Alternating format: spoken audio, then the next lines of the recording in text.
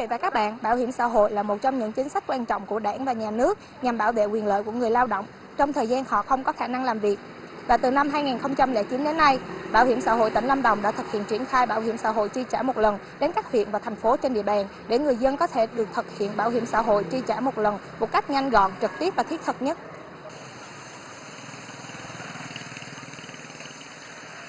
Anh Lê Viết Hải, ngụ tại xã Xuân Trường, thành phố Đà Lạt cho biết, do một số lý do cá nhân nên hơn một năm qua anh không thể tham gia lao động, kinh tế gia đình cũng từ đó mà gặp nhiều khó khăn.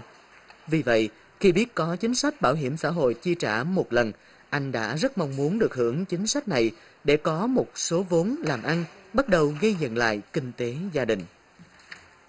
Mình về mình làm ở nhà thì mình làm nông nghiệp thôi thì mình sẽ có một cái số vốn đó để mình đầu tư như cây giống bước đầu nó thuận lợi thì sau này hy vọng là nó phát triển tốt hơn. Bên cạnh đó thì ông Nguyễn Đức Anh hiện là hiệu trưởng trường Trung học cơ sở Đạ Mơ Rông, huyện Đam Rông. Tuy chưa đến tuổi về hưu, nhưng đã có sẵn những dự định tương lai cho bản thân lúc về già. Qua đó, ông mong muốn được bảo lưu và tích lũy thời gian đóng bảo hiểm xã hội để được hưởng lương hưu. Vì theo ông, đó là cách an toàn nhất so với rủi ro khi cầm một số vốn trong tay nhưng không chắc chắn sử dụng có hiệu quả hay không. Theo tôi thiết nghĩ thì ờ, khi mà đến cái độ tuổi mà về hưu để mà chi trả một lần thì thì thì, thì nếu như mà anh về kinh doanh được thì thì nó rất là tốt.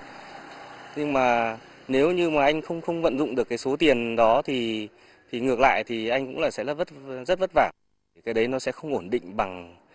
bằng bằng là khi mà chi trả theo hàng tháng và được hưởng lương theo hàng tháng thì tôi thấy là là nó sẽ sẽ ổn định hơn và nó sẽ chắc chắn hơn cho cái cuộc sống. Bảo lưu thời gian tham gia bảo hiểm xã hội hướng đến quyền lợi của người lao động. Đó là chế độ hưu trí khi hết tuổi lao động. Người nhận lương hưu sẽ có một khoản thu nhập để đảm bảo cuộc sống, đồng thời được hưởng bảo hiểm y tế và nhiều khoản chăm lo khác từ nhà nước. Điều này sẽ có phần không nhỏ trong công cuộc ổn định an sinh xã hội của một quốc gia.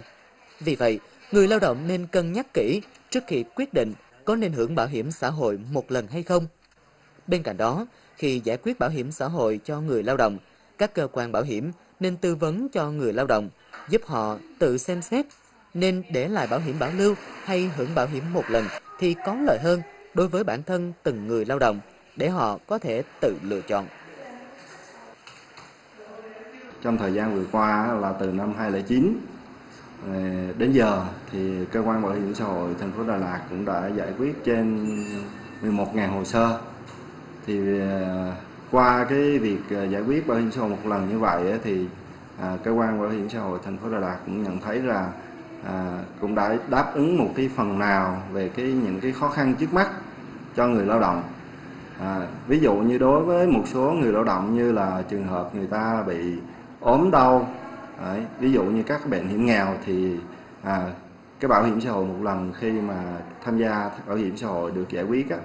thì sẽ có một cái khoản tiền để người ta trang trải về các cái chi phí khám chữa bệnh. Thì nó cũng là góp phần giải quyết những cái khó khăn cho người lao động. Nhưng mà về cái cái tầm nhìn lâu dài à, đối với cái cái việc giải quyết một lần đó, thì à, người lao động cũng phải cân nhắc cái việc giải quyết đó. Tự vì là sau khi mà chúng ta đã giải quyết cái bảo hiểm xã hội một lần xong rồi thì chúng ta sẽ không còn bất cứ một cái chế độ nào cả. Thì ví dụ một số người lao động đã làm việc gần 20 năm nhưng mà khi mà đã giải quyết bảo hiểm xã hội một lần thì cái số tiền nó nói chung là không nhiều nhưng mà à, nó chỉ tạm thời thôi. Thì à,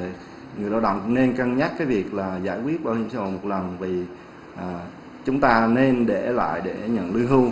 à, thì chúng ta sẽ có tiền hưu hàng tháng và chúng ta sẽ có cái thẻ bảo hiểm y tế được cơ quan bảo hiểm xã hội cấp suốt đời thì như vậy là nó sẽ tốt hơn. Thực tế cho thấy, tuy còn một số vấn đề khúc mắc xung quanh chính sách bảo hiểm xã hội chi trả một lần, tuy nhiên, đều không thể phủ nhận rằng chính sách này đã giúp không ít người lao động có một số vốn đầu tư để phát triển kinh tế, cải thiện cuộc sống cho bản thân và gia đình. Tin rằng người lao động sẽ sáng suốt trong lựa chọn hưởng bảo hiểm xã hội để vừa đảm bảo quyền lợi bản thân, ổn định an sinh xã hội, vừa góp phần thúc đẩy phát triển kinh tế xã hội của địa phương.